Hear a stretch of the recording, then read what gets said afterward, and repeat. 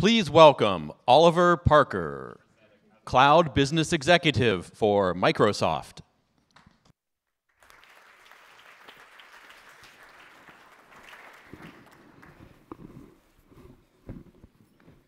I think I'm actually waiting for a couple of people to come on, but I'll happily start off. So first off, my name is Oliver Parker. I work for Microsoft Corporation. It's a privilege to be able to talk a little bit today about something that I spend my life talking about, which is really around cloud computing and big data. And uh, before we jump in and we'll sort of hear from the panelists, and I'll make an introduction in a second, I just want to frame up a little bit about cloud computing and big data and the relevance with, uh, with healthcare. So, uh, you know, when we think about healthcare, there are really three three key areas that we focus on. We focus on ubiquitous access to healthcare, improving the quality of healthcare, and bringing down the cost of healthcare. We also need to balance the patient and societal priorities of protecting privacy and ensuring that we are using data responsibly while building a more equitable system that serves the entire population. Our next two speakers that I'll be introducing shortly are at the forefront of that. We're probably all very familiar, bearing in mind we're in the Bay Area with cloud computing and tech data. But it's not immediately uh, evident why those two things come together and the value of healthcare. From a Microsoft standpoint, we're invested very, very deeply in these technologies and bringing them into healthcare. We've recently launched a, uh, um, a service with our research center around diagnosing pneumonia in ICU patients. These kinds of revelations and these innovations in healthcare are all made possible by cloud computing and investments in big data. We've also done genomic sequencing on data sets as it relates to modeling mutations of HIV virus. Again, these kinds of innovations are all made possible by cloud computing and some of the advances in big data. So today I'm joined by two great leaders to talk a little bit more about this. So with that, I'm going to start making some introductions. First off, I'd like Tarkan Maner to come up to the stage. Tarkan is chairman and CEO of Nexenta, a global leader in open source software defined storage. I'll let Tarkan tell you a little bit more about that. He's a pioneer in cloud computing and big data industries. He's an investor, an entrepreneur, and an innovator. And Tarkan has held top executive roles at Dell, Wyse, CA Technologies, and Quest. Thanks, Tarkan, for being here. I'm now going to formally introduce Manish Vipani. Manish today joins us from Kaiser Permanente, where he heads up their cloud strategy. Kaiser is one of the largest healthcare providers and an award winning leader in the area of digital health. In the last eight years with Kaiser, Manish is responsible for setting the direction of Kaiser Permanente's continuing move into the cloud across all its platforms and services. Please welcome Manish. Let me start with you, Manish. In light of your role at Kaiser, maybe you can help the audience and myself understand a little bit more around transforming the patient experience and how that relates to the relationship with doctors and nurses, but also more importantly, how that's changing the care that patients receive. It's, it's a, healthcare is going through some massive, phenomenal transformation.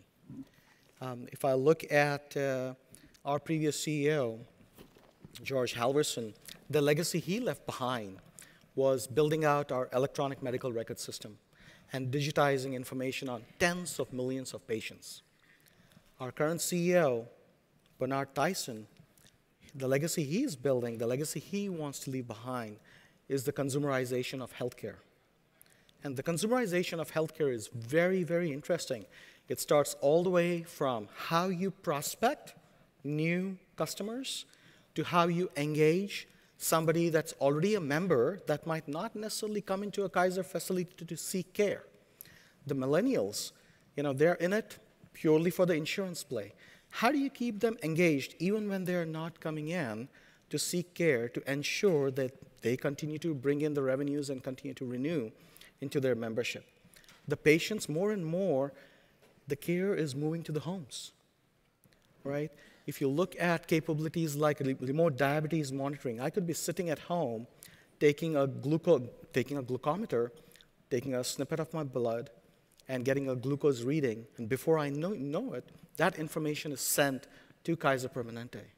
So the way we are interacting with our patients, the way we are interacting with our consumers, the way we are interacting with our prospects is changing day by day.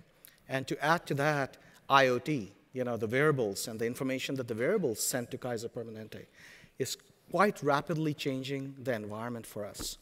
And so for us, more and more of our innovation is moving to the cloud It is bringing innovation to the cloud as opposed to bringing innovative services into the enterprise. And that's a radical change in the way health, how healthcare organizations are interacting with their consumers. That's helpful, thank you. Yeah. So, Tarkan, a question for you. How important is it for a company like Nexenta to understand the dynamics and relationships that are so integral to the provision of healthcare? Sure. Let me give you a little bit context, background, who we are first. Uh, we are a, a, by the way, that uh, uh, Xerox presentation was amazing. A lot of data there. I don't know if you paid attention to the presentation carefully. There was a lot of information, uh, and that's the point. There is a lot of information uh, uh, that we're creating, especially with new innovation around social media, social commerce, mobility, and, and Sophie from Xerox PARC talked about IoE, IoT, Internet of Things, Internet of Everything. We are creating so much more data than ever before. Uh, um, uh, we have about six zettabytes of data on Earth. Let me give you a little bit of context so it just doesn't go like this. Kilobyte, we have megabyte, we go gigabyte, we go terabyte, petabyte, exabyte, then we go to zettabyte, and hopefully we're going to go to yottabyte. If we had one disk drive, one zettabyte would be the entire Antarctica the entire continent of Antarctica would be one zettabyte, one drive would be covering that entire zone. So we have six zettabytes of data on Earth today, and we're managing maybe only 10 to 15% of it in the enterprise. We think we're managing. And that data growth is immense, growing 60, 70, 80% year over year.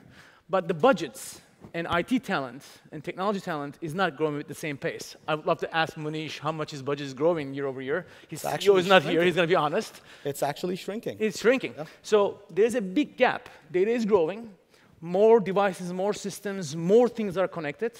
Uh, you have kids, they're all connected.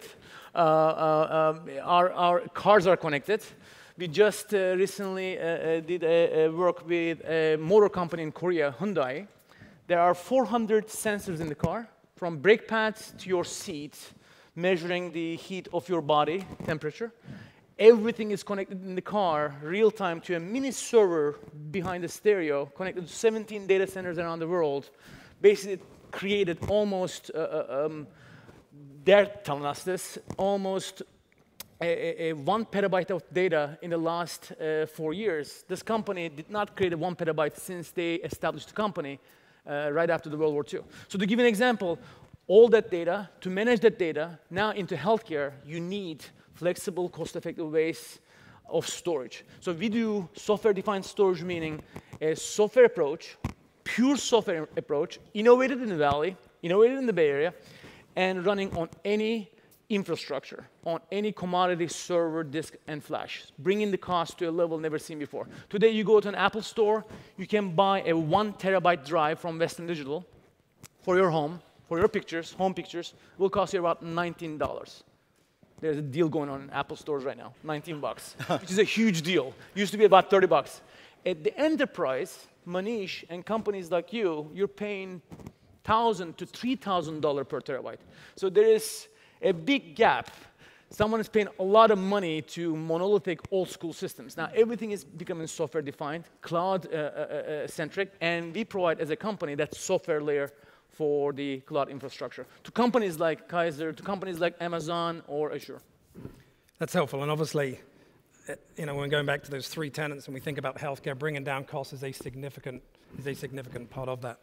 So just a question to both of you, and I'll leave it to either of you who wants to start up. Where do you think we exactly are in the integration of big data and cloud computing with healthcare in terms of realizing some so called future state? Are we in the dark ages, closer to the industrial revolution, or are we ready to board the Star Trek's Enterprise? Do you want to get started? Yeah, absolutely. So it's quite fascinating. In the past, when we talked about high performance, massively parallel processing systems, we looked at appliances very, very expensive appliances. And that's typically how we brought data into these appliances and did all kinds of phenomenal analytics. But with the volume of data increasing so rapidly, that solution is no longer cost effective. So for us, big data is all about ensuring that you have a software-defined capability that sits across, that sits on top of all of your storage systems, bring that data together through that software-defined tier and run analytics on top of it.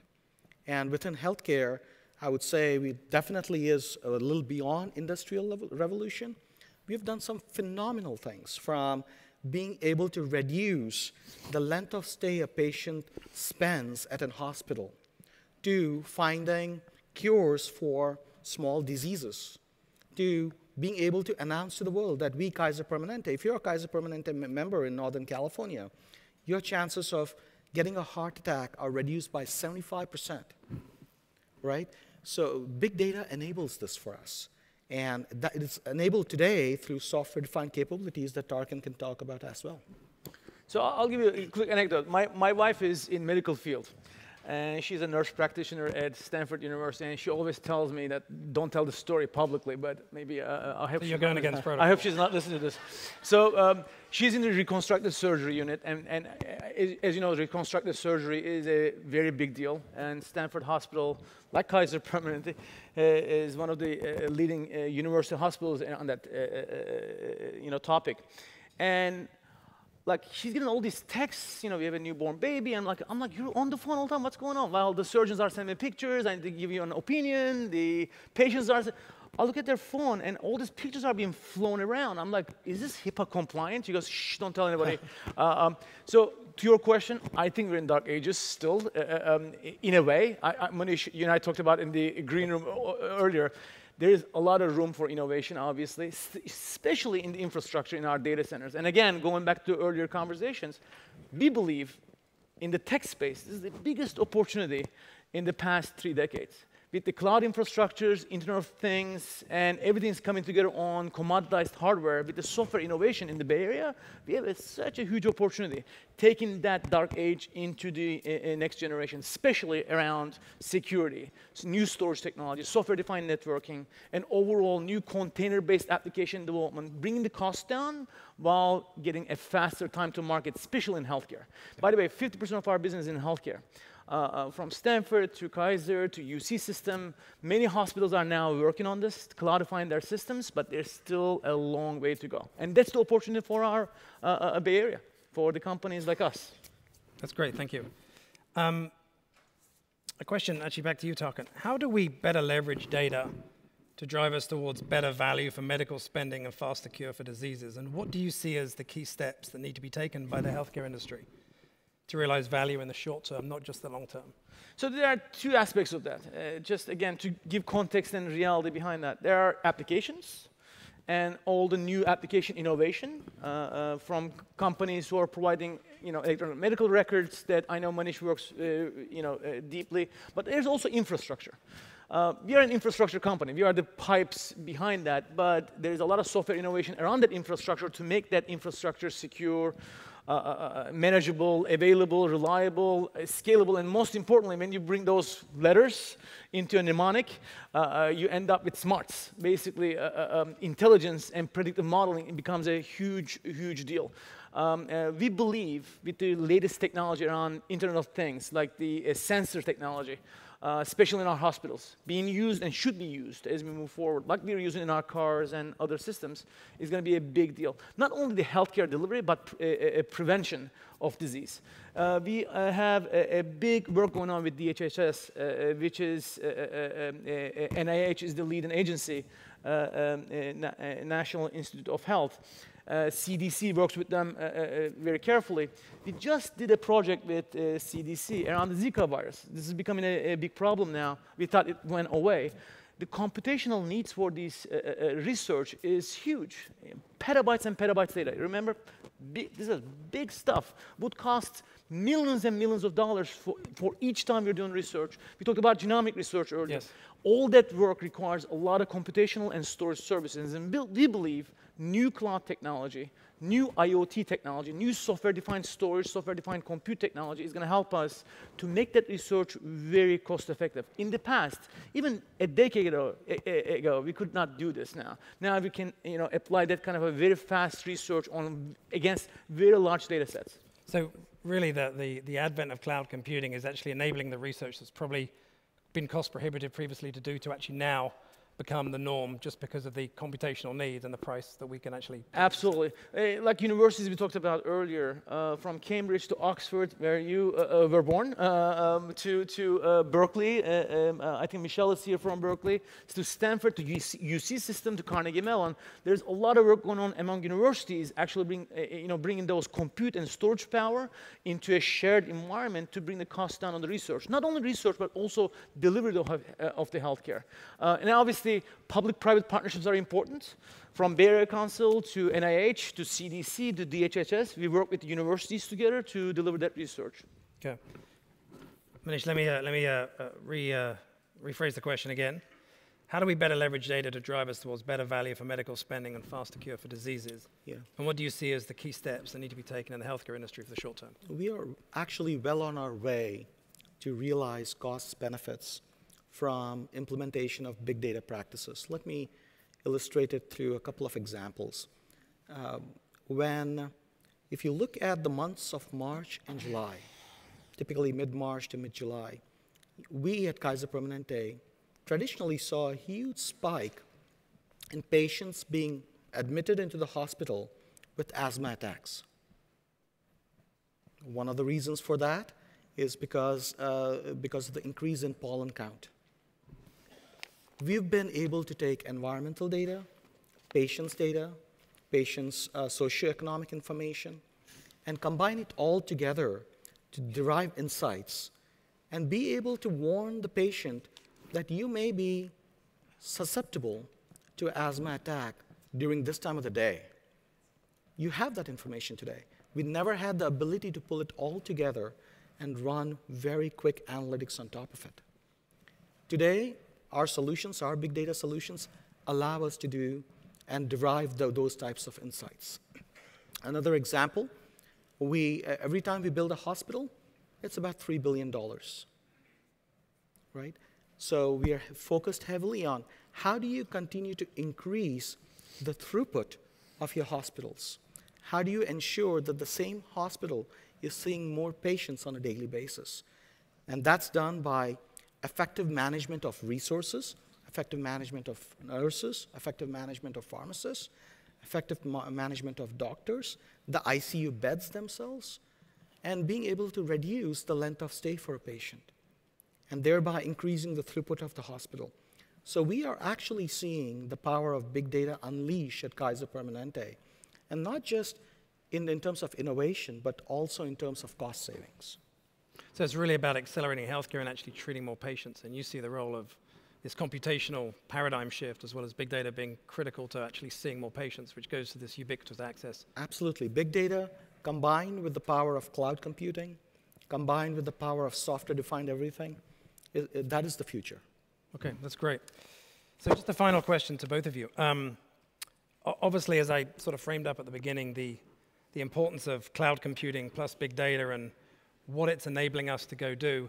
There's also some societal concerns as well as, um, I would say, sort of uh, pragmatic conversation around responsibility and use of data. The value of data is, is very little until you can extract insights, share it, and engage on it. Maybe you could just, with that sort of, with that sort of a uh, um, talking point, just provide us your perspective around um, thinking about privacy and protection of patient data and really ensuring the responsible use of this data in the cloud. Yeah, this is obviously a big concern. Um, uh, I don't want to sound cliche here, but uh, in our country, in the United States, we uh, established HIPAA Act basically uh, to cover some of these issues, but it doesn't cover everything yet. As I gave the example earlier, don't tell my wife. Um, this is a big problem. Now, in addition to that, with the cloud computing, now the, the next dimension of the problem is the governance. Who governs the data? Who owns the data, especially with the new type of cloud infrastructure that Kaiser is using or Stanford is using or any kind of a state hospital across uh, the borders, not only in our country, but other countries, as there's more research happening uh, between university hospitals uh, across boundaries. So it's not only the security and privacy and encryption of the data and the privacy of the, uh, uh, uh, the patient, but it's also the governance of data, uh, especially with the cloud computing now, that every resource is shared, whether that's an application resource or infrastru infrastructure resource, uh, the underlying infrastructure. This becomes a, a problem that we believe that private sector has a role in it, but also uh, uh, we believe the uh, government has some role in it to set some standards with the private sector and also with the uh, educational community, with the universities. We see also a huge opportunity for investors, for VCs, for entrepreneurs to provide additional value there. And I believe in the next decade, uh, especially in healthcare, uh, we're going to see a lot of new startups coming up, basically tackling those three dimensions of that uh, uh issue, security, privacy, and the governance of the data. Okay, that's helpful. Mr. Manish. Yeah, um, so it's very interesting. Kaiser Permanente was among the first, and it's the largest electronic medical record system on this planet. Massive amounts of data. It's all stored in the central electronic medical record system. But I may ask you, who owns your medical record information? The answer is you. Kaiser does not own it. So we see the future as being something quite drastic, quite radical, in that you as a patient will decide where and when to store that data. You may decide to store it on your mobile device. You may decide that you would then be able to take that data and submit it to a research that you might be interested in. So we believe that the privacy and security is going to move to the edges, is going to move to the devices, it's going to be moving to IoT systems that today transmit a lot of this data. And we believe that uh, your electronic medical record system eventually will become a central hub, but the data itself will reside with you at, at your fingertips for your use in any way, shape, or form you use, choose, choose to use it. So you really see the evolution of it sort of being a centralized security model to pushing out that security to the end user. That's correct. Okay, that's very helpful. Well, gentlemen, we're slightly out of time. I sincerely appreciate you both taking it. Yeah. I think it's, hopefully this is an insightful conversation, not too deep technically around zettabytes, petabytes, and eurobytes uh, in terms of where we're going with big data, but you know, just in terms of the use cases that both Manish and, um, and Tarkan have talked about, hopefully you're beginning to see some of the opportunity that you can see by bringing these technologies into the healthcare space. Please uh, thank, thank Tarkan and thank Manish for their time. We appreciate it.